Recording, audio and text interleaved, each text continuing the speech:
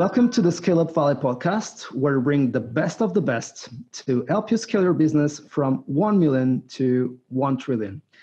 To discuss uh, how to scale uh, an amazing scale up like 15Five, we have a very special guest today. Uh, his name is Brad McGinity, the CRO or Chief Revenue, Revenue Officer at 15Five. Uh, Brad, welcome back to the show.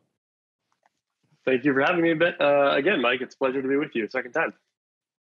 Absolutely. And uh, just for the ones who were not able to listen the previous episode, and for the ones who have not listened to it, you consider it a very good summary of all your knowledge. Let's try to do the same today, but much more adapted to the COVID-19 uh, crisis that we are all living uh, today. But just yeah. a quick intro about yourself and 15Five.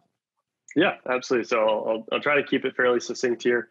Uh, I've spent my entire career in software startups.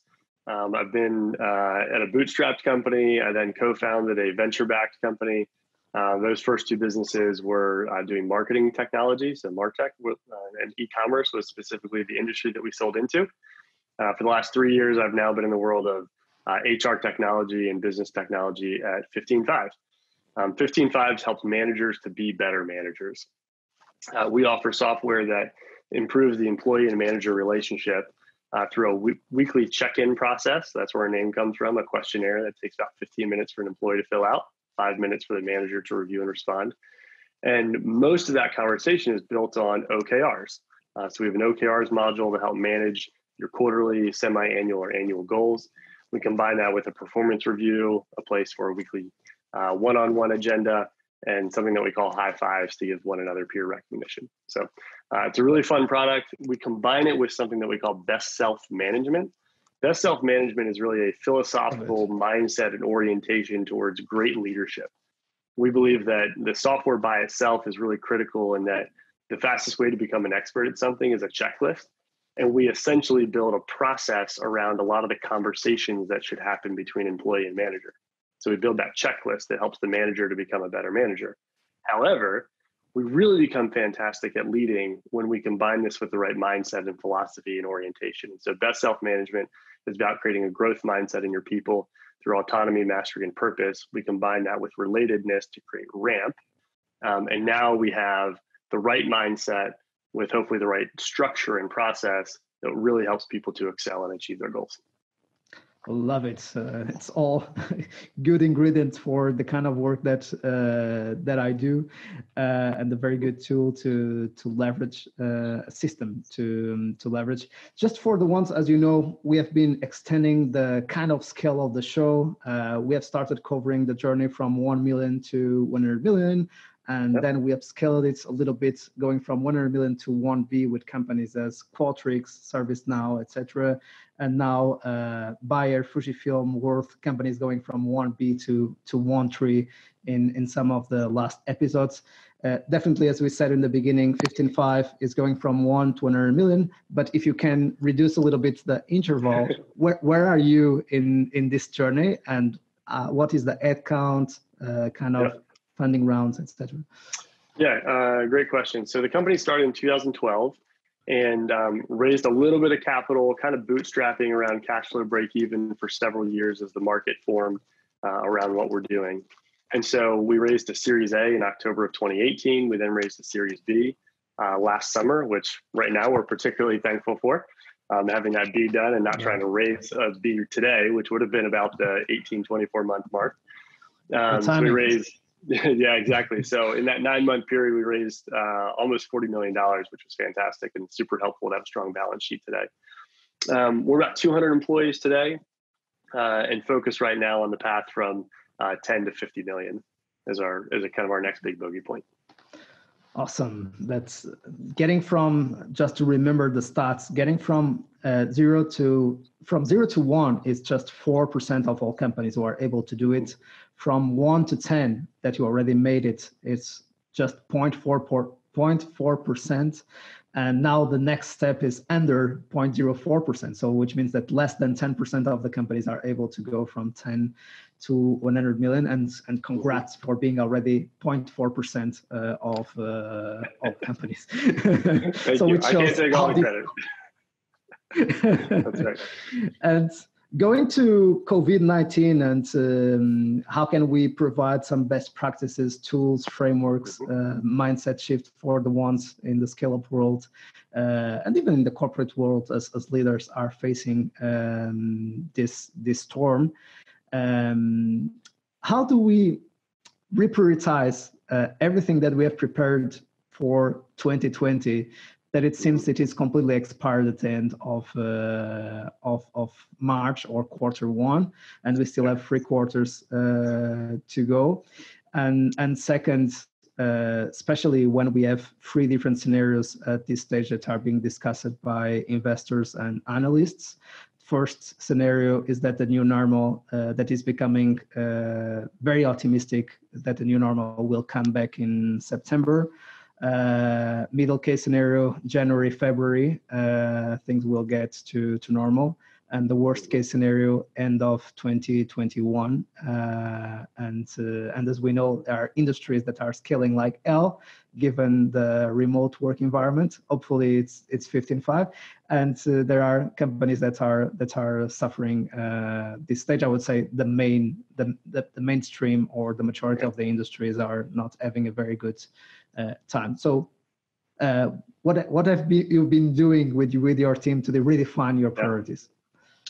Yeah, um, it's a really good question, and and so as as many high growth venture backed companies do, fifteen five burns money, right? So we spend more than we make, so that we can focus on growth, not profitability, at this stage of our uh, development, with a focus on growing market share. And so it's that's like many of your listeners, I'm sure, but it's obviously important context uh, to the decisions that we're making at 15Five. And so, you know, as, as, I'm sure everybody has read at this point in 100 different places, uh, the guidance from every uh, investor out there is get 24 months of runway in place. Right. And so the first thing that we did was we set out with our scenario planning, hopefully, just as, as all of your listeners have done, um, so we set out three different scenarios. Plus, we had our, uh, you know, the pre-approved board plan that we'd set up in January and agreed to. So we kind of had really four plans in place. Uh, but we created three new uh, scenarios to account for um, kind of different futures that could that could evolve. We've tried to do a really good job in those scenarios of being hyper clear about what is the trigger point that uh, moves us from Plan A to Plan B to Plan C, so that we're not trying to make a uh, a nuanced decision in the moment um, when emotions can take over and it's unclear and it's a little bit too gray. We've tried to be really clear around here's what triggers us from A to B to C. Um, and then document in advance uh, what do we then do as we move from A to B to C uh, and have those decisions as much as possible um, made in advance to take a lot of the emotion out of it um, and to give us more clarity in the moment for when we do that. So the first thing was okay, 24 months of runway with these three different scenarios, and then you got to pick one you operate against, right? So we've operating we're operating against kind of plan A, um, and so as we have thought about these three different scenarios, we've thought about them in four buckets of activities that are happening across our company. So we have risk mitigation activities, we have maintain the business activities, we have experiments, and we have big bets. So as we came into 2020 we were making pretty big investments in seven different uh, parts of 15Five. Right, so we had a lot of business as usual happening, but then we had product innovation happening over here, messaging and brand activities happening over here, different sales activities, partnership activities. And so we defined seven kind of big bets that we were making, plus all the business as usual stuff. And so now we've moved in this world of saying, okay, most important thing is risk mitigation, right? What's going to happen with our existing customer base? What's going to happen to accounts payable, accounts receivable, and cash in this world of 24 months of, of runway that we're seeking? So we set up our activities and ensure that we were staffed appropriately for all of our risk mitigation activities.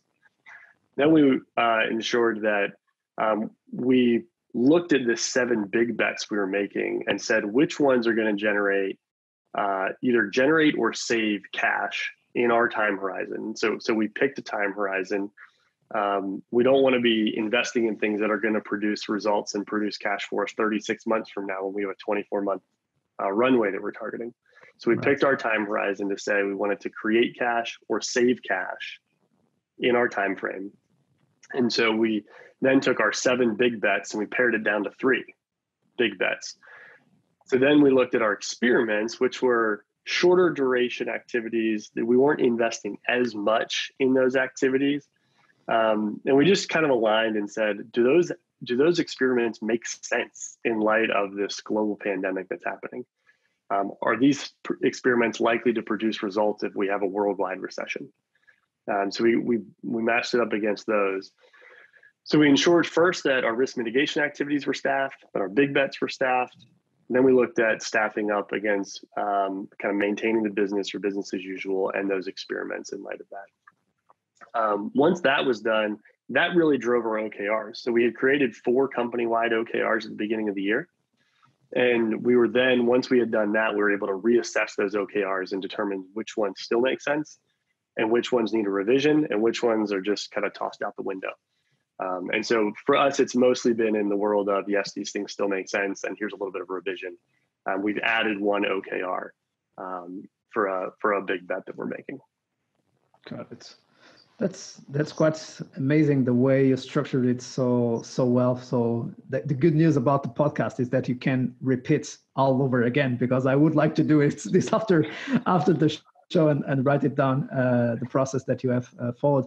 So we, we always discuss on the show free critical ingredients radical focus world class leadership and yeah. uh, culture of execution we were definitely discussing how to recalibrate refocus reassess and redirect the energy and the focus of the company as the next step to get to, to the vision uh, and part of the of, of uh, world class leadership is first uh, take care of ourselves as leaders and stay centered, stay positive, stay optimist, but stay prepared for for the worst. It's aim for the best and prepare uh, for right. the for the worst, uh, and of course, assuring that we have the right people on on the right seats. It's it's critical. And wartime and peacetime leaders uh, have very different mindsets. And, and something even more important for very senior leaders is that they are able to adopt a peace mind mindset and a wartime or a peacetime mindset and a wartime mindset when necessary and adapt the leadership style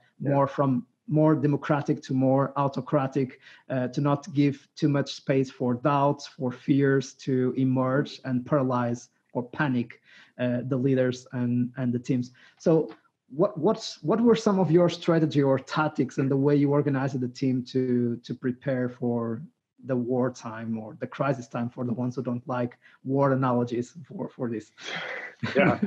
Yeah and we're actually one of those companies that doesn't love the war analogies and so yeah, we've been battling unintended um, for uh, for new language to bring into this thing but um, yeah you know, we, we, have, we haven't we haven't figured out that problem. We still end up in a lot of those analogies ourselves.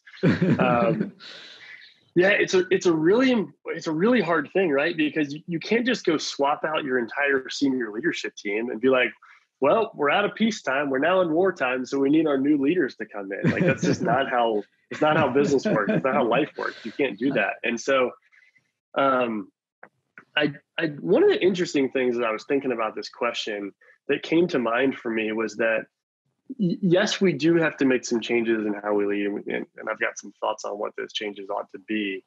But at the same time, there when you're in a high growth venture backed startup, there's a there's a bit of it where you're kind of always in a wartime mentality, right? You're always focused on speed. You're always trying to use, um, you know, build out uh, competitive barriers. You're always trying to move quickly and with a sense of urgency because you know your runway is 24 months 18 months 12 months right? Like you're always kind of running out of cash um, and knowing that you have to grow fast in order to raise your next round of capital and stay afloat because the one thing that drives every business out of every company out of business is running out of cash. So there's a part of it where like in our context in my context like we're kind of always at war. Yeah, right. Um, there's no such thing as peacetime in my context. Now it's different today, right? And so um, there are changes that need to be made, but there's there's still the consistent need for people to be moving with relentless focus, having a strong sense of urgency, always adaptable and ready to change, right? So those are the things that we want in our venture back startup all the time. Now those things become more important in this world today, right? So we built out a plan in January for 2020. We came back in in the middle of March and we've now changed all the plans. Not all the plans, we've changed some of the plans. And so we have to have a whole team of people who, one, uh, trust that we're doing the best that we can and making the right decisions, um, that we're being transparent about why we're doing the things that we're doing. I don't think that people expect perfection out of their leaders, but in order for them to trust their leaders, um, they do need to see alignment between word and deed, and they do need to have some visibility into why the decisions are being made that are being made. Um, and so, and then of course, we have to have an even more ruthless focus uh, on the things that matter most because we don't have as much margin for error, right? You know, in a world where capital was pretty cheap um, and very plentiful, uh, we could make mistakes and absorb uh, a project that didn't work or poor execution against a good idea. Um, we now have less margin for error on bad ideas, and we have less margin for error on, on poor execution on those ideas. And so that's where we went and said, okay, these some of these investments that aren't going to pay off uh, in our time horizon, we need to pull back on those things. So, um, you know, kind of my rules of thumb in times like this are number one, always tell the truth. Number two, be as transparent as you can. You can't be transparent about everything, but be as transparent as you can. Number three, uh, do celebrate the wins. Um, it becomes much more a game of celebrating some of the little things, um, not in a way that is designed to pull the wool over people's eyes, but is designed uh, as a way to uh, keep morale high and keep people recognizing that, like you know, there are there are good things happening. So, you know, we talk about our churn numbers, for example, and what's happening with downgrades and contraction, and we tell the truth on that. But we also look at like and here's the number of customers who are continuing to expand their contracts because they know that 15Five can help their team of remote workers. And so we want to be telling the truth about the good things uh, not just the bad things. Um, but there's a lot of it that is kind of the same right? We have to be moving quickly. We have to be focused. Um, and uh, we have to be building out you know, competitive differentiators and, and fighting off the, uh, that day when we run out of cash so even more important, right? So because uh, focus is even more important today, as you said, we can't, we, we need to, to do even less bets and also have the courage to make those bets, but do just a few of them if we need to pivot the direction and even the messaging, the positioning statement of uh, our product and our company to the new um, reality.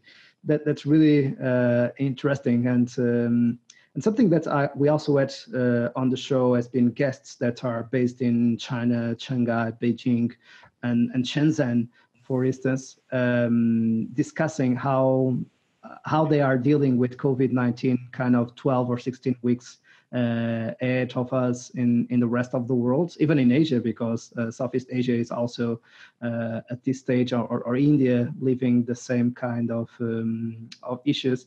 And that's the kind of the same answer that you said about about scale ups. It's in China there is always this wartime mentality, so it's a very competitive society, very competitive environment, it seems that it is always wartime, even uh, outside the scale up um, world.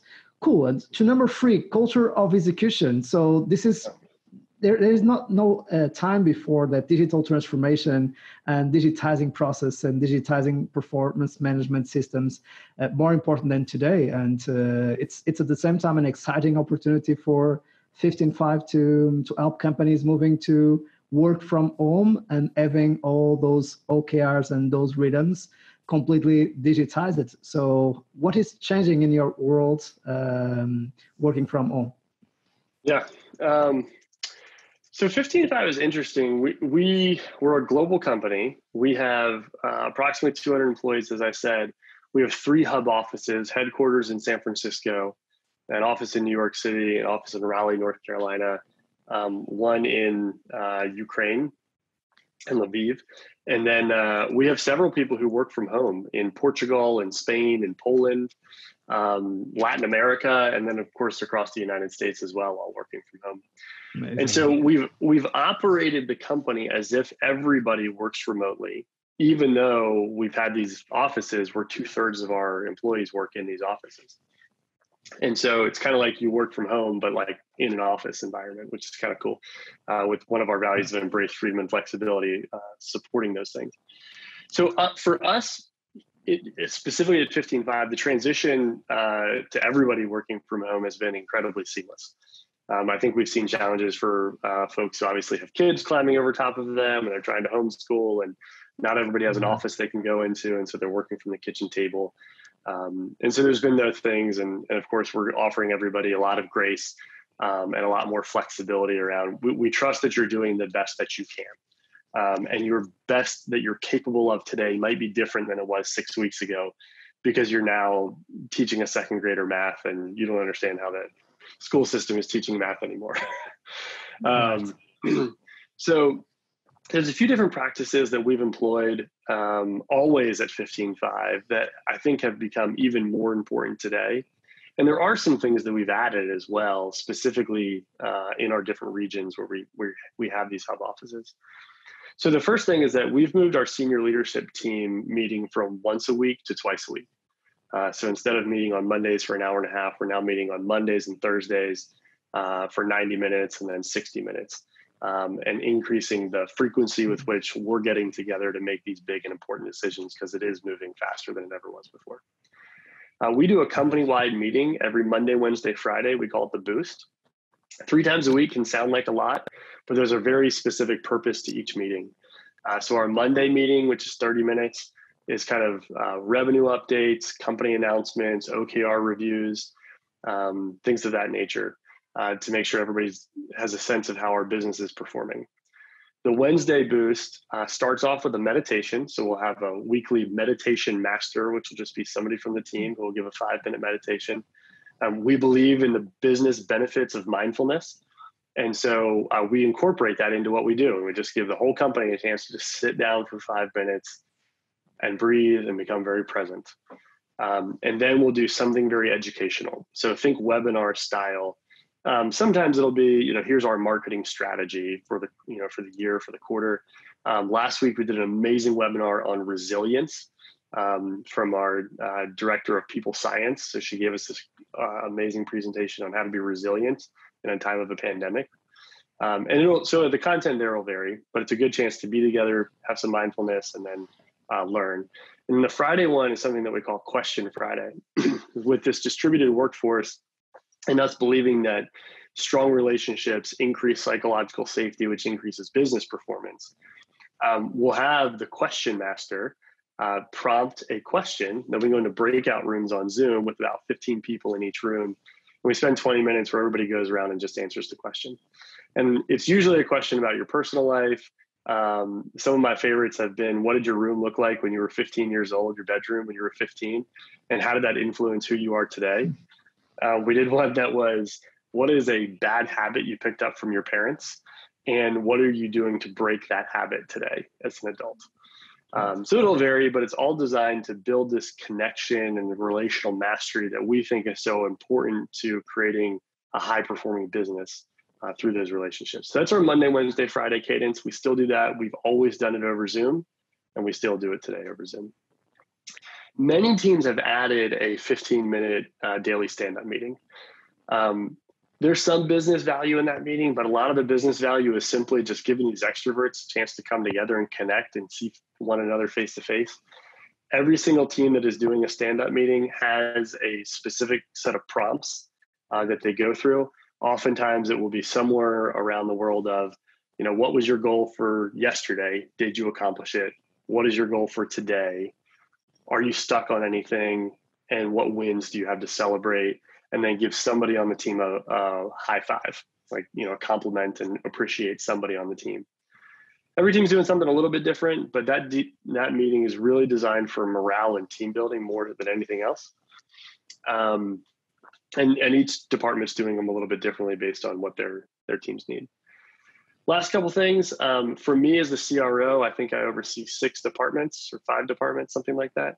Um, I'm trying to go to the stand up, the, if you got daily stand ups across all these teams, I'm trying to show up at least once per week for each team just to be present, answer a couple questions, give my real life high fives, tell people my wins and where I'm stuck, uh, and just to be present and a little bit more visible. So they're all on my calendar and I just pop in when I can.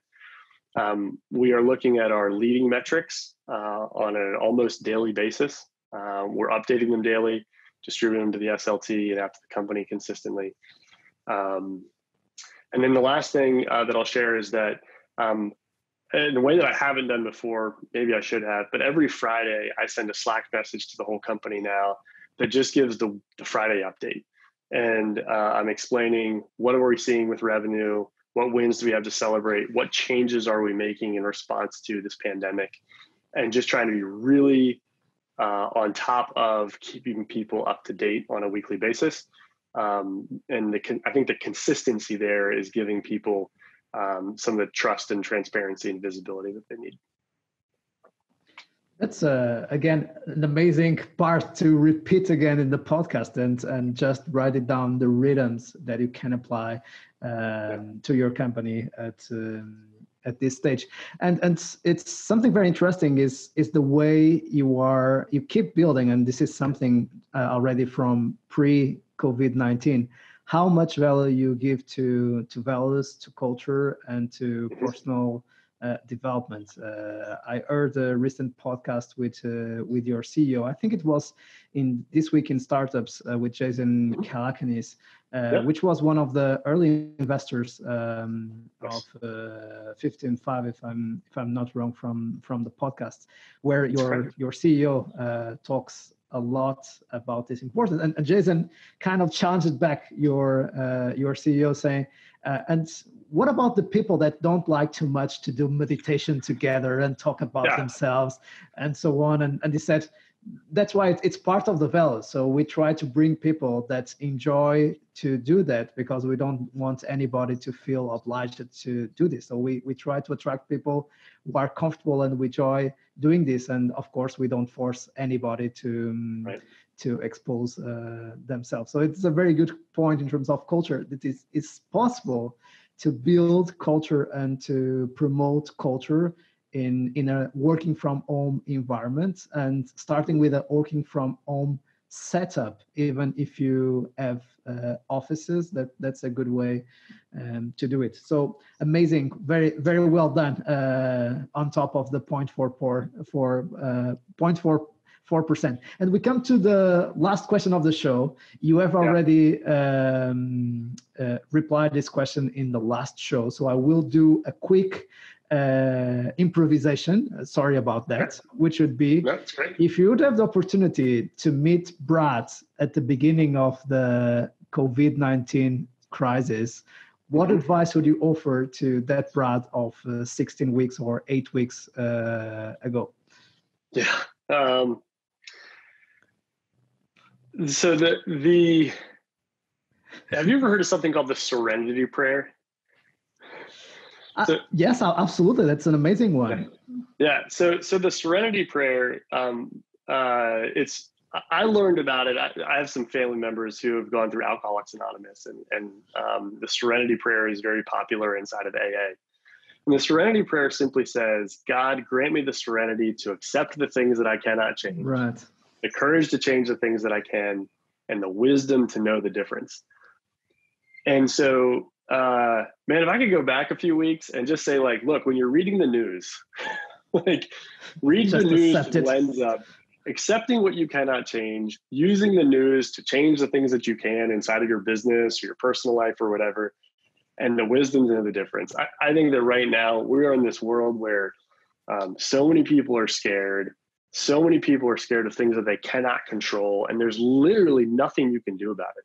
Um, I mean, think about all the restaurant workers or the the transportation and airline and travel work. Like they they can't. There's literally nothing they can do about it. Absolutely. And um, but there are things that they can change. Um, and there's things in my life that I cannot change, and things that I can. And so, um, man, I just feel like the Serenity Prayer is one of these things right now where it just helps me. It, it literally helps me sleep at night. Um, just to accept those things, think about what I can change and and try to take action about it and be proactive. and then just you know relax the best that I can after that. this is a great opportunity to give you uh, i5 and hats off. I know that you are also at home with with three kids, which uh, which we were discussing before the show. Yeah. So an i5 uh, for you and a recognition and an applause to you. By the way, uh, that, that's for, for, the ones who are just listening and not aware what is happening at this exact moment. But one of the kids and a daughter of, of Brad just came in uh, to to the room and uh, I five to uh, to her as well. So Brad, thank you so much for making the time and to joining us on the show uh, for the second time to to to to let our, our audience know how to deal with the uh, COVID nineteen crisis. Thanks again for joining us. Absolutely, Mike. Thank you for having me. And uh, to you, we keep bringing you the best of the best, very practical tools, playbooks, best practices to be well prepared to keep scaling during the crisis or to be prepared to scale after the crisis. Stay strong, stay healthy, and keep scaling.